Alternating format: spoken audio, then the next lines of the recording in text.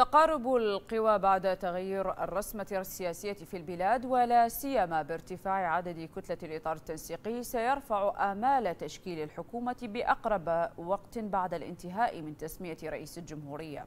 والخلاص من أزمة ليس لأحد مصلحة فيها. في خطوة نحو مغادرة الانغلاق السياسي تتحرك قوى الإطار التنسيقي للخروج من مأزق الشهور السبع الماضية نحو تشكيل حكومة مقتدرة ينخرط تحت لوائها الجميع. حراك جاء بعد تغير المعادلة السياسية أثر أداء اليمين الدستورية لبدلاء النواب المستقيلين واتساع جبهة الإطار إلى ما يقرب من 130 نائبا.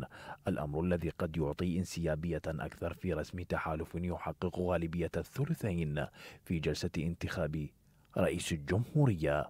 بيان الكتل السياسية واضح أنه الكتل السياسية ماضية في تشكيل الحكومة القادمة. لحد الآن لا يتم الإعلان عن التوافق السياسي ولكن بالتأكيد الكتل السياسية بدليل وقوفها اليوم جميعا في خندق واحد أنه أكو هناك تفاهمات مبدئية على تشكيل الحكومة. ومع ما تبينه قوى نيابية من أهمية في هذا التقارب بين القوى السياسية وما تحقق من مخرجات أخيرة خلال الجلسة الاستثنائية تذهب أوساط سياسية نحو أهمية الإسراع بتشكيل الحكومة ومعالجة ما وصلت إليه البلاد من تداعيات نتيجة التأخر وتأزم المواقف السياسية ولا سيما إن الوضع لا يحمل تأخيرا أكثر.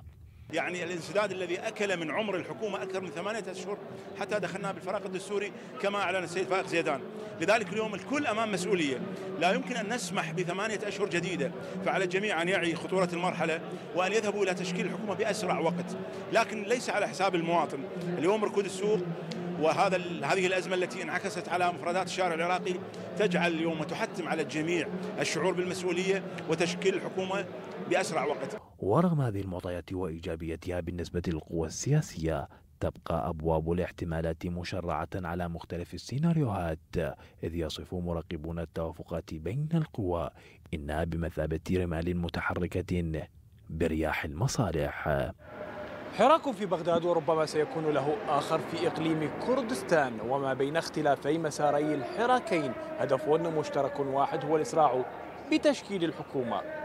مصطفى علوش الرابعة بغداد.